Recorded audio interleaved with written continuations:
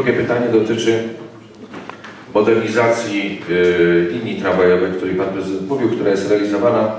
Y, Ja mam takie pytanie dodatkowe techniczne też, czy w związku z tą modernizacją, y, która bardzo dużo kosztuje miasto, czy jest przewidziane położenie tak zwanych ciągów medialnych, na przykład, które w perspektywie mogą umożliwić położenie rur ciepłowniczych, a dotyczy to zmiany systemu ogrzewania w samym centrum Starego Miasta. Czy to Państwo też przewidzieli?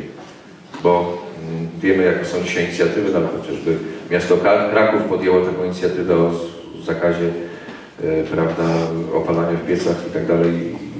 Cały system zmienia, się.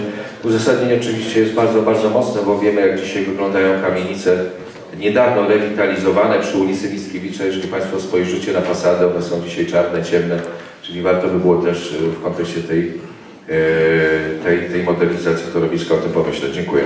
modernizację sieci tramwajowej y, w jeżeli chodzi o przyszły czas, jeżeli chodzi o zasilanie inne, alternatywne domów i kamienic w mieście, to również należy wspomnieć o wcześniejszej inwestycji, jaką była rewitalizacja ulic Starego Miasta, ponieważ przed tymi dwoma inwestycjami poprosiliśmy wszystkich gestorów sieci podziemnych, aby przewidzieli w swoich planach inwestycyjnych zmiany i modernizację. Z tego skorzystała przede wszystkim Pomorska Spółka Gazownicza, która wymieniła sieci gazowe w obrębie całej sterowki, gdzie wszystkie kamienice mają nową sieć e, gazowniczą położoną, jak i nowe przyłącza, czyli jeżeli ktoś by chciał przejść na system zasilania gazem, na przykład dziennym, to nie ma już problemu, nie będzie problemu rozkopywania ulic, jak i też skorzystała z tego częściowo energetyka, która, jeżeli ktoś by chciał ewentualnie przejść na zasilanie cieplne za pomocą prądu elektrycznego, Przykładem jest choćby nowa stacja przy ulicy Wodnej w okolicach muzeum. Jak mamy skrzyżowanicy Wodnej i Pańskiej, mamy nową